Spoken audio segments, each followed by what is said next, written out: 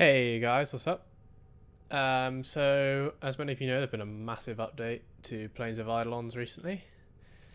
So I just thought I'd run through some of the changes that have been going on and what's changed with regards to each role in hunting, uh, the builds, how they've changed, spawning spots, all that stuff.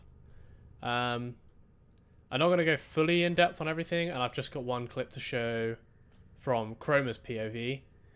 Um, and in that, you'll see obviously most of the stuff that's going on. Harrow hasn't changed at all. Chroma's only changed a bit. Um, and Volt's changed.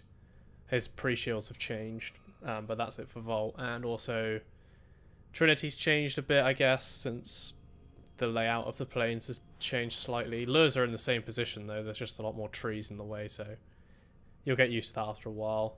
Um, but yeah, so I'll just run through the build I have here. So recently the Rubico got a nerf. Its Riven disposition dropped a bit again.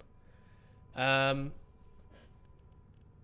so if we just look at that real quick, this is the build that I'm running now on Rubico. Um, Similar to my last one, except from I have swapped out uh, Hellfire for Vigilante armaments now. Um, so basically I've got a triple stat Riven, crit chance, heat, and multi-shot, so I'm getting the heat to make radiation here. Um, and then the multi-shot additive allows for basically guaranteed four shots, or three shots actually, um, with half a chance of four. And then, as you can see, we've actually stacked this up quite a lot here. Up to 25% chance to enhance crits from primary. And that's coming from our Sentinel weapon, which we've put our primary mods on here. We've got another Vig armaments, Vig supplies, Vig offensive, and Vig fervor. And that stacked it all the way up to 5 there. Um, what you can do on your Chroma, if you want, you could put on the last Vig mods to make it 30%, but I haven't found the need for that at all, so if you have if you've put an umbral Forma on your chroma as well that you got from the um, the event then obviously you have a bit more room than I do here so you can always do that. Um, chroma builds stay the same though for me. Arcane acceleration and momentum those two have stayed the same. Um, but yeah other than that I think build wise it's basically the same. Uh, I've also got an updated Harrow build now. I'll just get that up if you want to see so this is my Harrow build now. Um, this is, a, in my opinion, a perfect build. Does pretty much everything you need to. You can swap Coaction Drift out for Speed Drift if you're the person who is going to be negative Coaction Drift in your run. Um, but other than that, yeah, this is the new my new build for Harrow. 93% duration, pretty much perfect. Um, so yeah, you can have a look at that and copy if you want. Uh, but other than that, I think We'll just get into the clip. What I'm going to do is just break it down. I'll try and go through each spawn point. Um, new spawn point for Gantulyst and Hydrolyst. Um, you'll be able to see where the Volt's placed his shields in those clip as well. In those clips as well. Um, I can do another video going in depth on that later on if you want. Do another Volt guide, um, but I don't think I need to, so we'll just keep it like this. Uh, other things that have changed a bit. As Chroma, you no longer have to be in the air to spawn wisps. So that's very handy. You can just dash to the shoreline and uh, spawn wisps now. And obviously we have the new ground slam on our void blast, which we can spawn two wisps with. So that's useful. Um, ground dashing to proc virtuous uh, shadow no longer works. So you can only proc virtuous shadow uh, on the head now by void dashing into the head, which is a slight annoyance, but it, it's fine either way. Um, other things that have changed, if there are of note, I guess, um, far spawn is now really slow. Uh, it takes a while for the Eidolon to emerge, but you just have to be patient until you shoot the limb. Uh, and walking, I know I recently did a Chroma walking guy, which is now basically obsolete. Um, I'm probably going to do another one of those in the future, but basically you don't really need to walk him anymore. Most of the spots now are bug proof, you can find a way to just shoot him into a spot where he won't bug out, so that's fine. They've also fixed a lot of bug TPs, so he doesn't TP away as much now.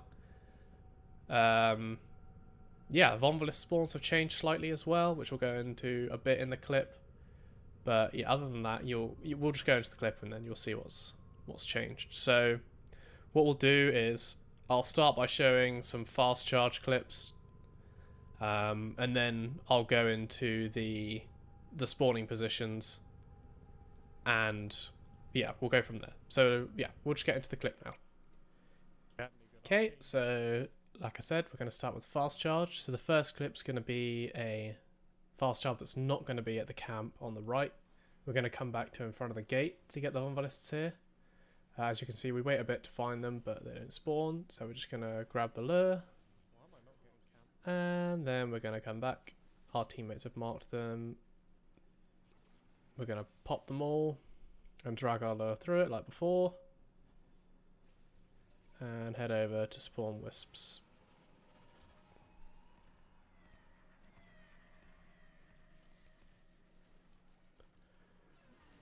Get our Vex armor up. And there we go.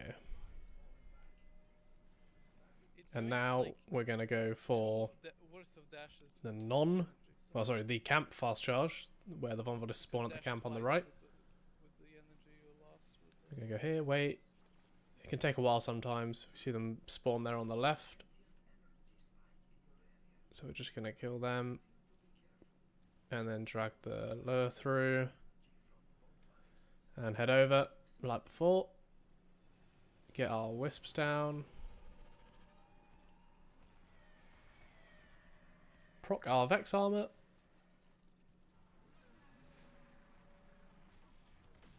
And easy as pie. So now we're going to go on to the new spawn locations and we're going to start with far spawn. So here we are waiting to put our shards in. Like I said, fast one takes a while now. You can pause the video if you want to see where the Volt Shield is as well. I'm not going to go into depth on the Volt pre-shields, like I said. I might do that in another video at some point. And there we go. You just have to jump over to the left to get the best angle. What you should really do here is hit him twice on the left-hand side to push him further up the hill on this spawn now. Uh, if you hit him on the right limb again, as you'll see me do here, he's going to go over the water. It just makes it a bit trickier. So hit him Hit him on the left twice, and he'll go a bit further away. But now we're going to go to mid-spawn. Uh, we're going to rattle through these clips quite quite quickly, so just to go through the changes. Mid-spawn's moved a bit close to us now. There we go, as you can see, we're procking the wisps on the ground now. And we're going to hit him on the left. That's where mid spawn is. Again, you can pause if you wanted to see where the Volt Shield was. You can do that for all of these, but now we're going to go to close left. So close left has actually moved a bit further away from us now. Um, unlike close right, which has moved closer to us. We should have a bit of problem with shards here, apparently.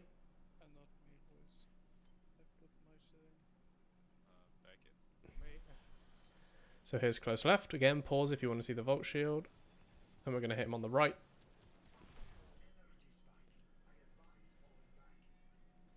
One other thing that we've noticed as well is that first shields seem to be a lot faster now. We think they've changed how the damage calculation works on amp shots, so that's nice. But yeah, close left, move a bit further away, not too much of an issue though. And finally, we're going to do close right, which we're going to finish on. Close right is basically exactly the same slightly closer, but not by too much.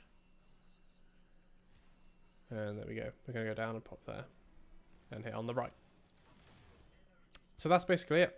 Um, like I said, I'm going to do, or I will try and get another Chroma walking guide in. Um, you can walk the, the Eidolon very easily now on most spawns, so that's very nice. Uh, and I might do another video for Volt. Um, just an update on the last one about pre-shields.